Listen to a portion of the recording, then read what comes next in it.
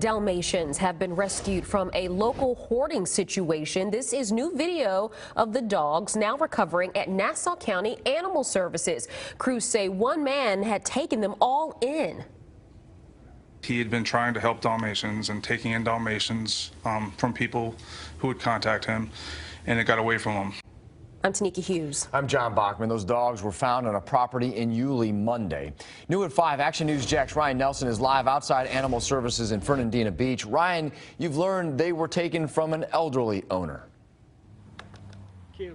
Well, NCAS described this as a rescue attempt that simply went wrong. Now 19 of those 25 dogs, nearly 25 dogs from the Yulee property are here at Nassau County Animal Services in Fernandina.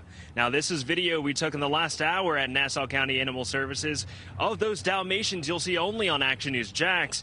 NCAS tells me they got a call on Monday about dogs running around in Yulee and say the animal control officer followed them back to their property where they found about 25 Dalmatians. They tell me one of the dogs was blind, another had an injured paw, and they also say that they discovered a dead dog on the property.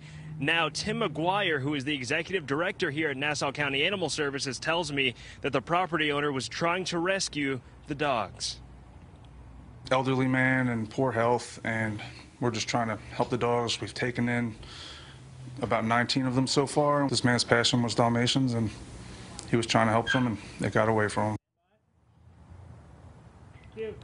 Now, McGuire tells me 11 of the dogs are going to a rescue in Miami, Florida. I did ask him if the owner could be facing charges, and he says that he's unable to comment on that part of the investigation right now. Reporting in Fernandina Beach, Ryan Nelson, CBS 47, Action News Jax.